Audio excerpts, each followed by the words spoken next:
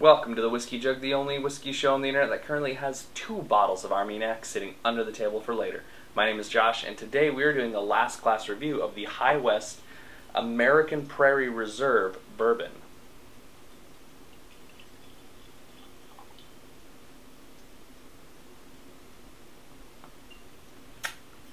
Delicious.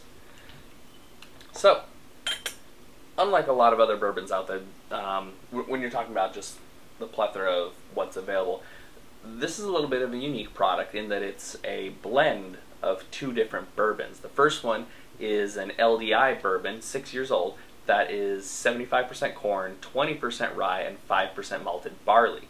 The second one, and one of my favorites, is the 10 year Four, um, Four Roses, which is 60% corn, 35% rye, and 5% barley. So this is a very high rye blend of bourbons that we've got going on here.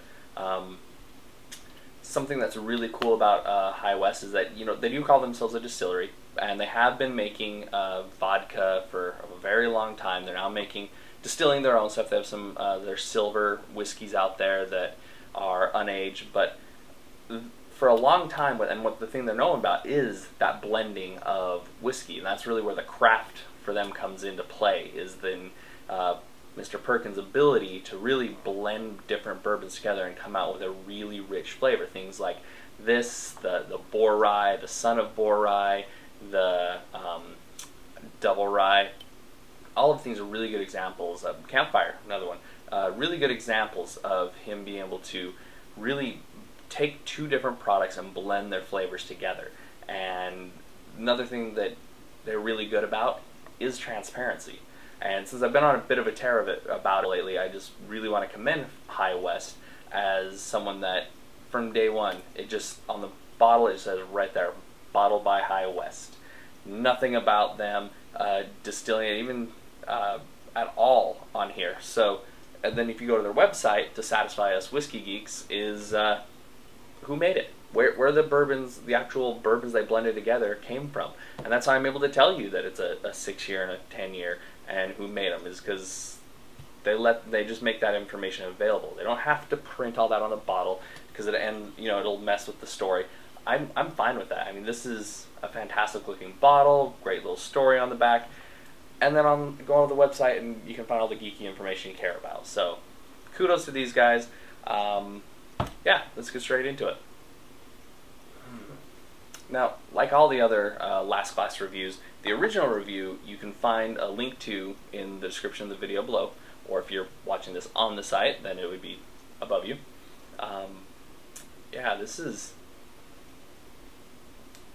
the nose on this is really interesting. Um, reviewed this one a little over a year ago. Uh, I think it was like early um, October, and it's changed a bit.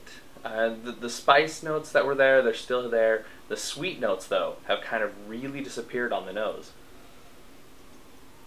Over the last year, it's really, uh, it's really changed. It, in a good way, though. Um, even though the sweet notes aren't nearly as uh, prevalent as they were before, they are. They've changed. They've become a little bit richer, more dark fruit, caramel, a little bit of like burnt sugar type of thing going on. Um, but it's mostly the wood the rye spice and uh, just the, the, overall bourbon spice that's really moved up, especially the woody notes. It kind of smells like I would imagine like a 15 year Four Roses with that high rye spice and the wood notes coming through.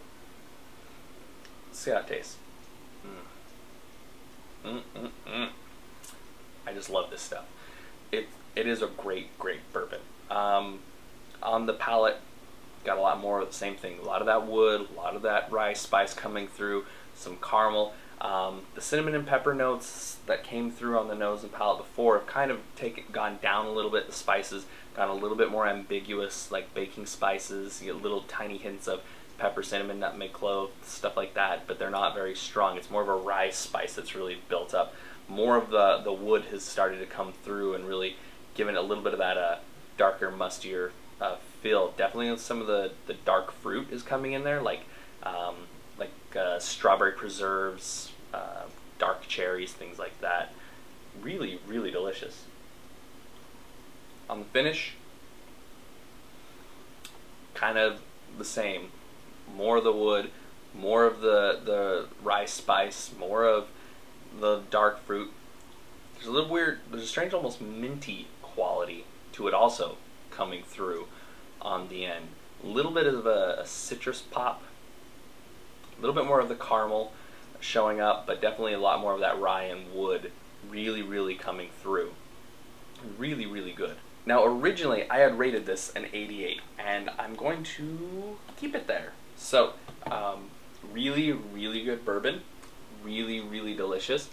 Um, even though some of the things kind of changed place a little bit, the sweet went down a little bit, spice came up, the type of spice moved down, and overall, the, the quality of this is still right there in that high 80s. This is a definite, definite recommended buy. So, gonna keep it there at the 88. Another really, really cool thing about this whiskey is where the name comes from, the American Prairie Reserve. And before we wrap this up, I just want to touch on that for a second. So the reason it's called the American Prairie Reserve is because 10% of every bottle that you purchase actually goes to the American Prairie Foundation. So in a way, by buying this, you're actually a bit of a philanthropist. You're giving back to the world by buying this whiskey. You're helping to build the largest American Prairie Reserve in the lower 48 United States. So, you know, cheers to philanthropy.